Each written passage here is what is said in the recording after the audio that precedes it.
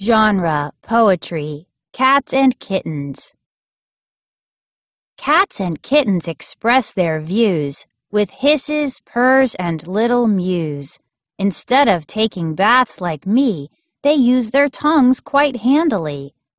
I wonder what my mom would say if I tried cleaning up that way. They stay as still as still can be until a mouse they chance to see and then in one great flash of fur, they pounce on a toy with a purr. By Constance Kermes.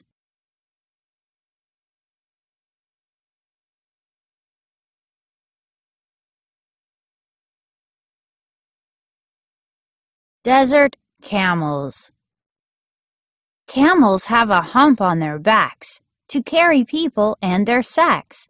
They're very strong, don't mind the sun, won't stop for drinks until they're done. They give people a bouncy ride. They sway and move from side to side. I'd like a camel for a pet, but haven't asked my mother yet.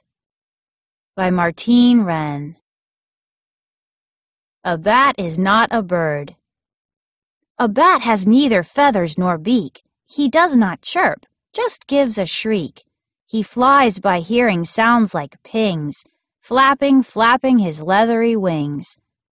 At night, when I'm asleep in my bed, he gets to fly around instead. By Trevor Reynolds